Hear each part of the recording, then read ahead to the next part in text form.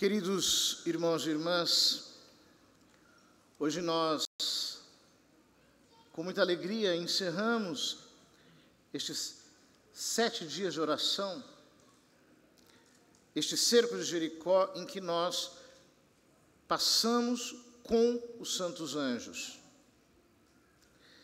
E não haveria ocasião melhor para encerrarmos este cerco do que na festa dos santos arcanjos.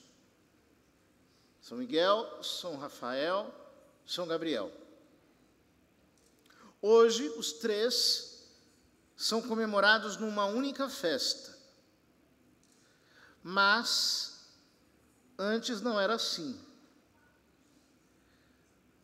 São Rafael era celebrado no dia 24 de outubro.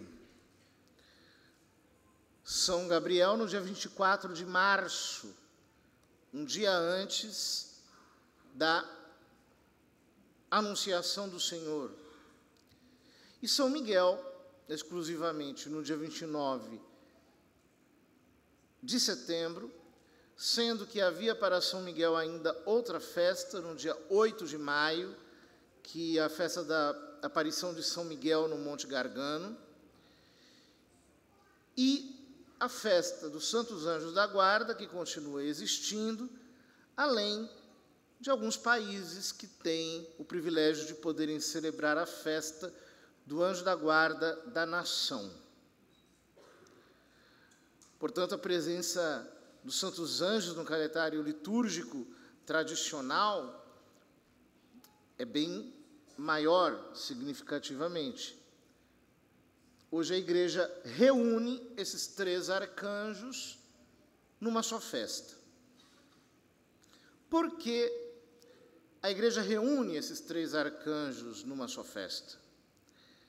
E não faz menção a outro santo anjo, embora a tradição cristã fale de mais arcanjos.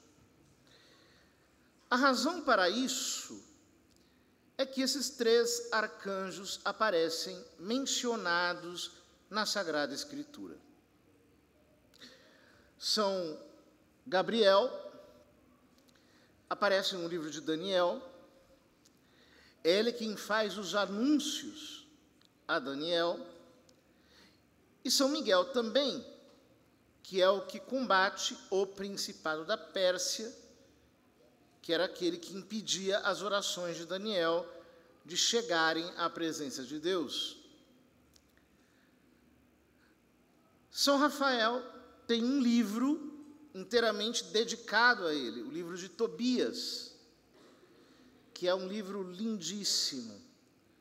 Conta a história de um homem piedoso e justo que vivia na região da Pérsia e que ficou cego.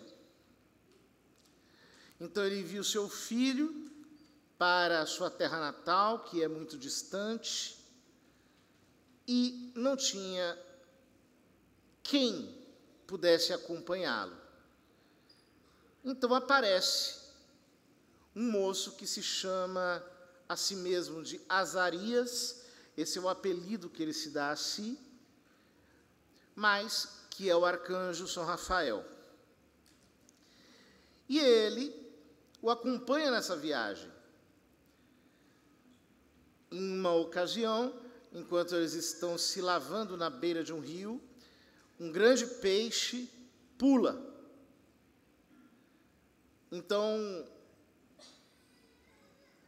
como que engole os pés de Tobias, e então São Gabriel, São Rafael manda que ele retire o peixe, o abra, e o fel do peixe seria um remédio, e os intestinos do peixe também. Eles vão até a cidade de Ecbatana e ali, é, na média, acontece um tremendo milagre de São Rafael, ele diz a Tobias que ele se pode casar com Sara, que era sua parente, mas havia um demônio que matava os maridos de Sara e já tinha matado sete maridos. E todos imaginavam que Tobias teria o mesmo fim. Então eles queimam um pouco do intestino do peixe, como o arcanjo havia mandado, num braseiro, e o demônio vai embora.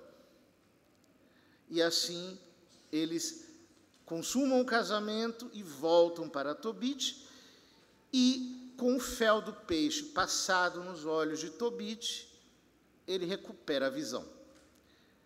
Por isso que São Rafael é considerado também o padroeiro das viagens, o padroeiro daqueles que buscam um caminho, uma vocação, que desejam chegar a uma vocação. E é claro, como o seu próprio nome diz, ele é a cura de Deus. Rafael, o Deus que cura. São Miguel aparece no livro de Daniel, aparece em diversos escritos extra-bíblicos, inclusive num escrito que não faz parte do cânon bíblico chamado Livro de Enoque. Ele aparece especialmente no Apocalipse, nessa ocasião em que combate Satanás ainda nos céus, expulsando do lugar santo por causa da sua rebelião. O nome de São Miguel como todos sabem, significa quem como Deus. Gabriel, Deus forte, ou a força de Deus. Esses três arcanjos desempenham um papel marcante na obra de Jesus Cristo. Nós vemos claramente São Gabriel no primeiro capítulo do livro de Lucas, como intervém na anunciação a Zacarias, depois na anunciação de nosso Senhor Jesus Cristo.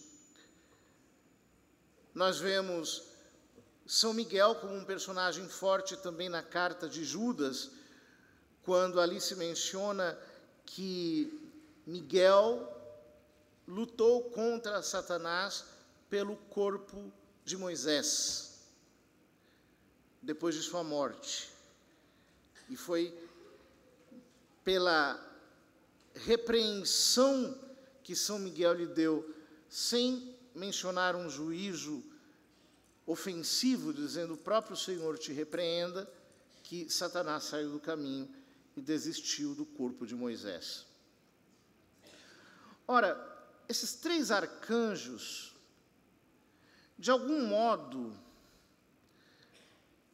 representam para nós toda a ação e a interferência dos santos anjos em nossa vida.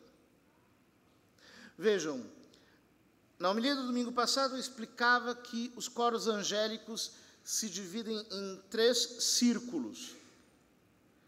O círculo superior é o círculo, o círculo da contemplação estão em torno do trono de Deus e carregam, por sua vez, atributos divinos.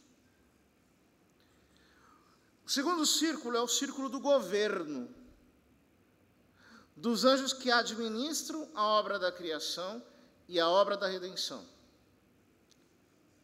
E o terceiro círculo é o círculo da execução dos anjos que executam a vontade de Deus, que executam os juízos de Deus, que executam os planos de Deus na terra em favor dos bem-aventurados. Todos os santos anjos do nono coro, em dependência dos arcanjos, que são como seus generais de guerra. Talvez você não tenha podido participar deste cerco de Jericó, mas quem sabe o teu anjo da guarda não tenha vindo aqui no teu lugar.